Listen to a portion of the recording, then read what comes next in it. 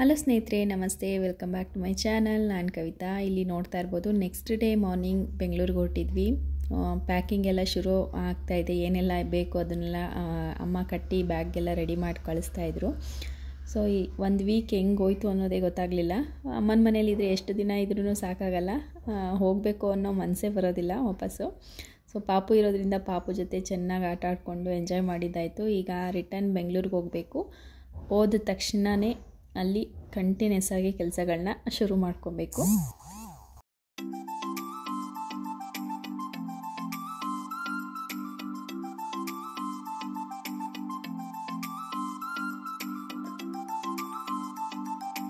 So ಇನ್ನೇನು ಹೊರಡೋ time ಆಯಿತು. ಹೊರಟು ಬಂದ್ವಿ. ಬಂದ ತಕ್ಷಣ ನನ್ನ ಬೆಂಗಳೂರಿನಲ್ಲಿ ಎಲ್ಲ ಆರ್ಗನೈಸ್ ಮಾಡೋದು, ಎಲ್ಲ ಎತ್ತಿಟ್ಕೊಳ್ಳೋ ಅಂಥದ್ದು ಐಟಮ್ಸ್ನೆಲ್ಲ ಅಮ್ಮ ಕಳಿಸಿರೋವಂಥ ಎಲ್ಲ ತಿಂಡಿಗಳೆಲ್ಲ ಎತ್ತಿಡ್ತಾ ಇದ್ದೆ ಹಬ್ಬಕ್ಕೆ ಮಾಡಿರೋವಂಥದ್ದು ಇಲ್ಲಿ ಯೂಶ್ವಲಿ ನಮ್ಮ ಮನೇಲಿ ಯಾರೂ ಎಣ್ಣೆಯಲ್ಲಿ ಕರ್ದಿರೋವಂಥದ್ದು ಅಷ್ಟೊಂದು ಏನು ತಿನ್ನಲ್ಲ. ಚಕ್ಲಿ ಇದೆಲ್ಲ.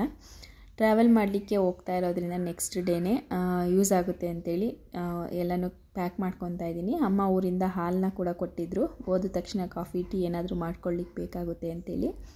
ಹಾಗೆಯೇ ಅಡುಗೆ ಮಾ, ಅಡುಗೆ ಕೂಡ ಇವಾಗಲೇ ಮಾಡಬೇಡ ನೈಟ್ ತುಂಬಾ ಕೆಲಸ ಇದೆ. ಅದಕ್ಕೋಸ್ಕರ ಹಾಲನ್ನು ಕಾಯಿಸಿಟ್ಬಿಟ್ಟು ಅಡುಗೆಗಳನ್ನೆಲ್ಲ ಮಾಡಲಿಕ್ಕೆ ಶುರು ಮಾಡಿಕೊಂಡೆ.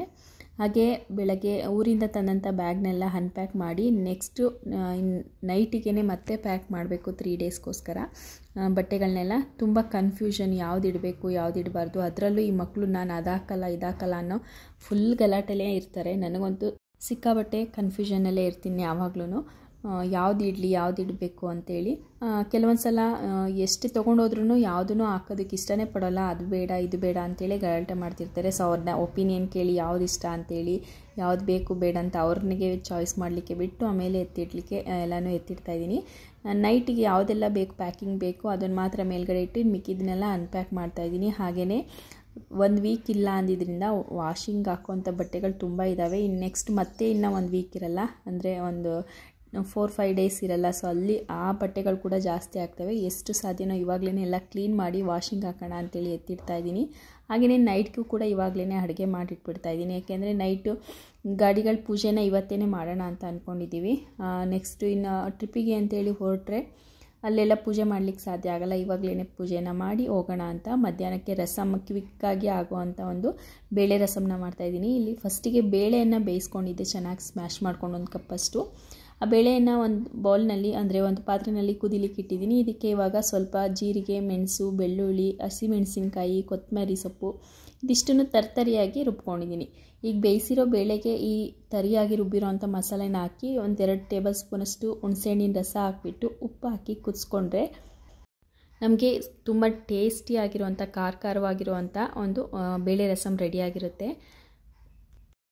ಬಿಸಿ ಅನ್ನ ಜೊತೆಗೆ ತುಪ್ಪ ಹಾಕ್ಕೊಂಡು ತಿಂತಾಯಿದ್ರೆ ಅದ್ರ ತುಂಬಾ ಟೇಸ್ಟ್ ಇರುತ್ತೆ. ಸೊ ಈಗ ನನ್ನ ಕ್ಲೀನಿಂಗ್ ಕೆಲಸಗಳನ್ನ ಶುರು ಮಾಡ್ಕೊಂಡಿದ್ದೀನಿ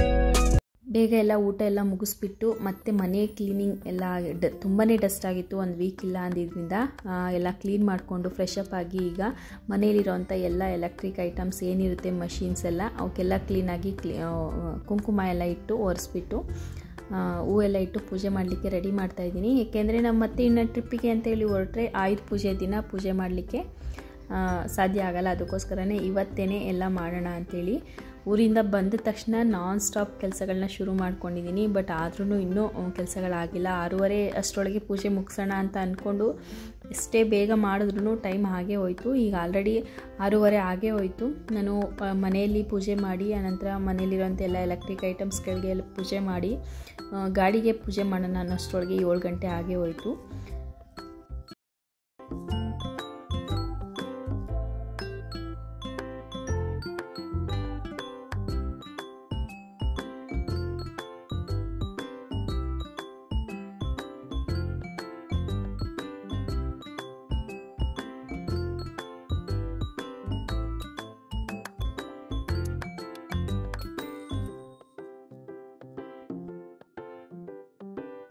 ಮಧ್ಯಾಹ್ನನೇ ಅನ್ನ, ಸಾಂಬಾರು, ಪಲ್ಯ ಎಲ್ಲ ಮಾಡಿಟ್ಬಿಟ್ಟಿದ್ದೆ ಸೊ ಇವಾಗ ಈ ಗಡಿಬಿಡಿಯಲ್ಲಿ ನನಗೆ ಅಡುಗೆ ಮಾಡಲಿಕ್ಕೆ ಸ ಟೈಮ್ ಸಾಕಾಗ್ತಿರ್ಲಿಲ್ಲ ಅದಕ್ಕೋಸ್ಕರ.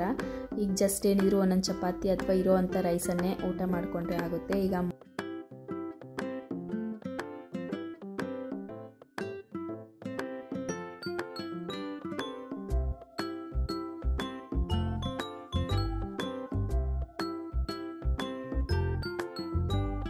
ಮನೇಲಿ ಪೂಜೆಯನ್ನು ಮುಗಿಸಿ, ಆ ನಂತರ ಗಾಡಿಗೆ ಪೂಜೆ ಮಾಡುವಾಗ ನನಗೆ ವಿಡಿಯೋ ಮಾಡಲಿಕ್ಕೆ ಆಗಲಿಲ್ಲ. ಯಾಕೆಂದರೆ ತುಂಬ ಕತ್ತಲೆ ಆಗಿಬಿಟ್ಟಿತ್ತು. ಮತ್ತು ನಾನೇ ಪೂಜೆ ಮಾಡೋದ್ರಾಗಿ ಆಗಿದ್ದರಿಂದ ವಿಡಿಯೋ ಮಾಡಲಿಕ್ಕೆ ಸಾಧ್ಯ ಆಗಲಿಲ್ಲ.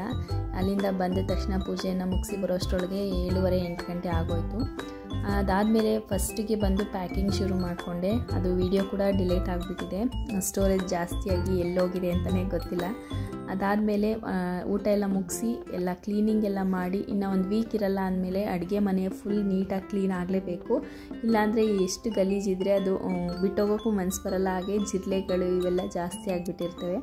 ಸೊ ಹಾಗಾಗಿ ಫಸ್ಟಿಗೆ ಎಲ್ಲ ಕ್ಲೀನ್ ಮಾಡಿಕೊಂಡು ಎತ್ತಿಡ್ತಾ ಇದ್ದೀನಿ. ಈಗ ಟೈಮ್ ಆಲ್ರೆಡಿ ಹನ್ನೊಂದು ಗಂಟೆ ಆಗಿದೆ. ಎಲ್ಲ ಕ್ಲೀನಿಂಗ್ ಮುಗಿಸಿ ಪ್ಯಾಕಿಂಗ್ ಎಲ್ಲ ಆದಮೇಲೆ ಟೈಮ್ ನೋಡ್ತಾ ಇರ್ಬೋದು. ಹನ್ನೊಂದು ಗಂಟೆ ಎಲ್ಲರೂ ಮಲಗಿದ್ದಾರೆ. ಈಗ ನಾನೊಬ್ಬಳೇ ಇನ್ನು ಬೆಳಗ್ಗೆ ಮೂರು ಗಂಟೆಗೇ ಹೇಳಬೇಕು. ನಾನು ಅಷ್ಟರೊಳಗೆ ಎಲ್ಲ ಪ್ಯಾಕಿಂಗ್ ಕೂಡ ಮಾಡಿದ್ದೀನಿ ನೋಡ್ತಾ ಇರ್ಬೋದು. ಸೊ ಇನ್ನೇನಿದ್ರು ನೆಕ್ಸ್ಟ್ ಹೊರಡೋದೇನೆ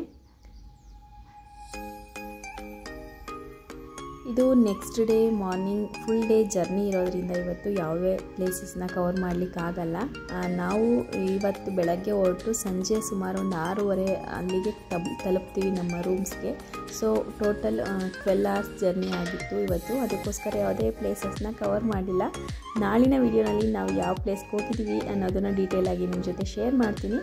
ಇವತ್ತಿನ ವಿಡಿಯೋ ಇಷ್ಟೇನೆ ಸ್ನೇಹಿತರೆ, ಇಷ್ಟ ಆಗಿದ್ದರೆ ಪ್ಲೀಸ್ ಒಂದು ಲೈಕ್ ಮಾಡಿ ಶೇರ್ ಮಾಡಿ. ಹಾಗೆಯೇ ಹೇಗೆ ಅನಿಸ್ತು ಅಂತ ಕಮೆಂಟ್ ಸೆಕ್ಷನಲ್ಲಿ ಮತ್ತೆ ಸಿಗೋಣ ಒಂದು ಹೊಸ ವಿಡಿಯೋ ಜೊತೆಗೆ. Thanks for watching